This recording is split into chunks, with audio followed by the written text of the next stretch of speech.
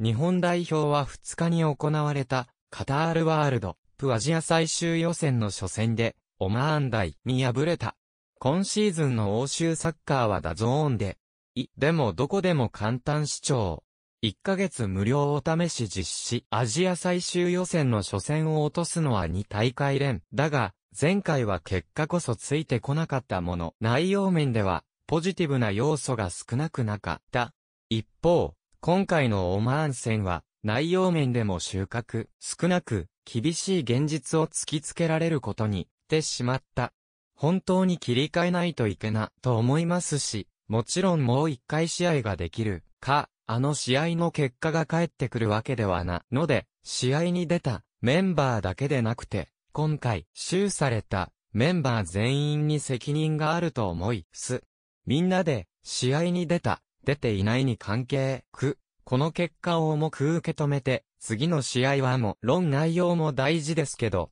まず結果を求めて、地点3は、必ず取って帰らなければいけないと、います。そういう強い覚悟をみんなで持とう。いう話はもちろんチーム内で出ています。つい、招集で2日のオマーン戦直前に、チームに合流。た、DF、小次元は、同じく初戦を落とした前回大会、アジア最終予選も経験している選手の一人で、り、厳しい状況から、ロシアワールドカップで剣獲得までの道のりをよく知っている。だかこそ、最終予選の一発目でやってはいけない合わせをしてしまったというのは、みんなも我がていることと述べた上で、日本代表として強い自覚を解く。日本代表を背負っている意は、国民の皆さんを喜ばせないといけない場でもあると思いますし、ただでさえ皆さんが新型コロナウイルスで苦しんでいる中で、うやって試合をさせてもらって、恩返しとい意味でも、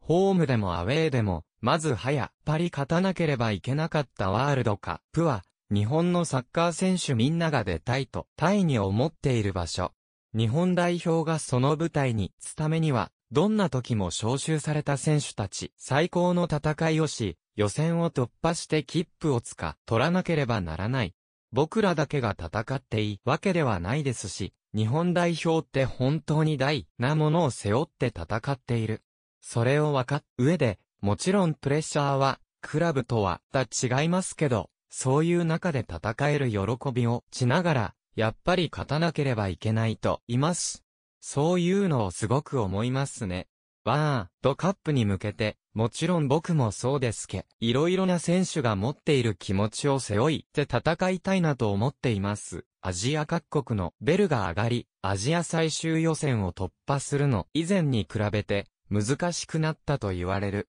選手、地も口々に、これまでとは違う戦いになると話している。一方で、日本代表は、ワールドカップにて当たり前だと思われている側面もあり、地、胸以外における、認識のズレから来るプレイヤーもあるだろう。雅子が解くのは、そうした圧を跳ねのけて、勝ち続けるための覚悟の必ず、せいだ。オマーン戦での敗戦を受け、改めて日本、表選手が背負うものの大きさを自覚していようだった。もちろん、アジアのレベルが、上が、ていると言われますし、でもアジア全体が上らないといけないとも思います。その中でも、パリトップに位置づけられる日本は、常にやレンジされる立場。僕らはそういう彼らを受け入れるんじゃなくて、オマーンや中国は割りやすく言えば、FIFA ランキングで日本より下で、けど、そういうのに関係なく、僕らもやっぱり、やレンジして、